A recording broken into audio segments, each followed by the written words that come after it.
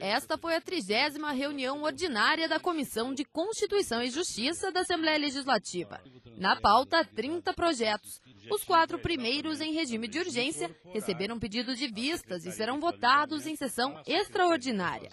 Projeto de autoria do deputado Neile Prevô, que obrigava o uso de sistema de segurança baseado em monitoramento por meio de câmeras de vídeo em escolas e hospitais públicos, foi rejeitado.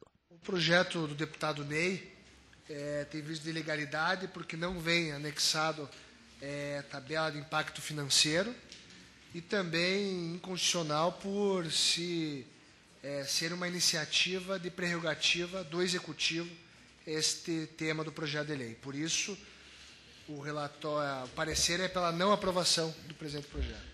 Projeto de autoria do deputado Tercílio Turini, que institui no calendário de eventos do Estado do Paraná a Expoasa, realizada anualmente no município de Açaí, foi aprovado.